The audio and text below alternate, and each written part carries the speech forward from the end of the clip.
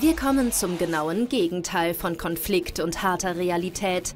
Zu einem Künstler, der mit Zuckerwatte süßen Animationen wie kein zweiter die Aufmerksamkeitsspanne der Millennials bedient.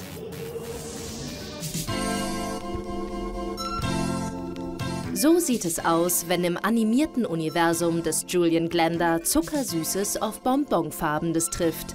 Zweckfrei, ironiefrei, ohne Metaebene und genau deshalb im Netz so erfolgreich.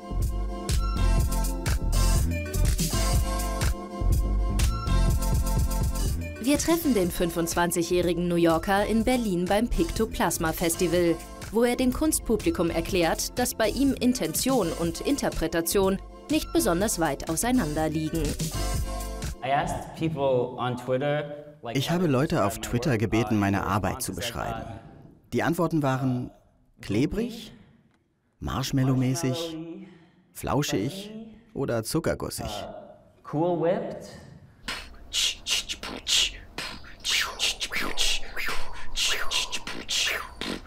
So there's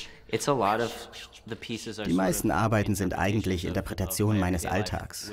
Mit einem Hauch Zuckerguss, ein wenig Weichzeichner und einer pastelllastigen Farbpalette, die sich so wunderbar von der realen Welt abgrenzt.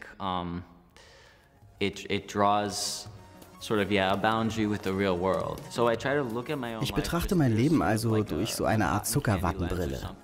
Das liegt an der Zeit, in der wir leben, an diesem Gefühl von Chaos und Irrsinn. Ich habe das Gefühl, die ganze Welt ist voll von Angst.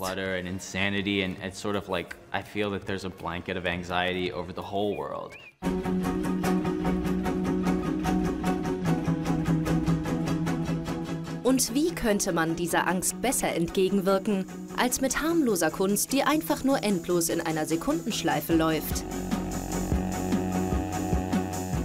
Glenda animiert mit Vorliebe GIFs, vom quietschbunten Dackel bis hin zur bewegten Coverart für Jamie XX.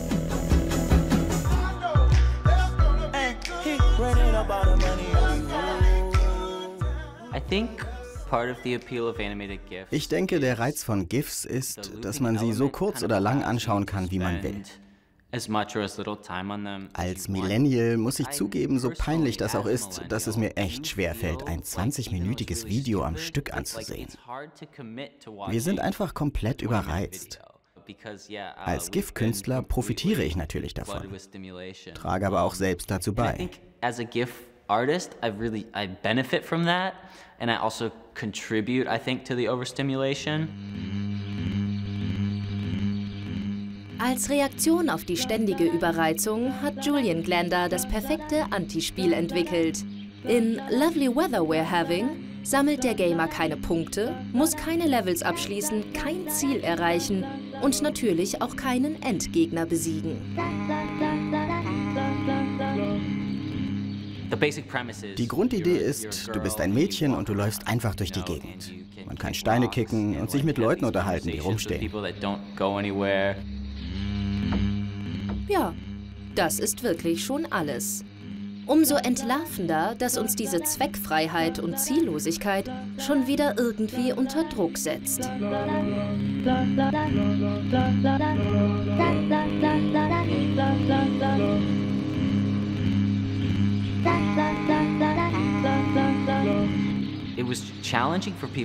Die größte Herausforderung dabei ist es, nicht herausgefordert zu sein. Das Game ist wie ein Anti-Stress-Ball, ein interaktives Spielzeug oder Actionfiguren, mit denen du spielen kannst. Dadurch, dass ich die Mechanismen und Handlungen eines traditionellen Games weglasse, eröffnen sich für den Spieler letztlich viel mehr Möglichkeiten.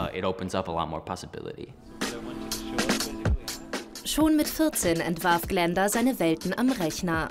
Das Geheimnis, bloß nicht zu verkopft konzeptionell werden.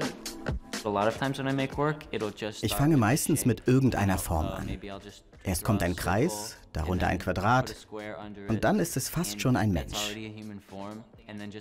Dann füge ich einfach weitere Dinge hinzu und baue mir meine Figur weiter auf. Mein größter Einfluss kommt dabei aus dem Kinderfernsehen. Da stehe ich total drauf. Auch auf das schlimme Zeug. Meine Kunst ist eigentlich wie Kinderfernsehen für Erwachsene.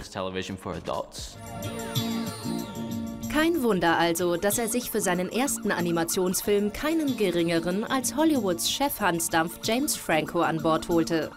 Der gab Glenda ein Interview, das der Künstler dann animierte.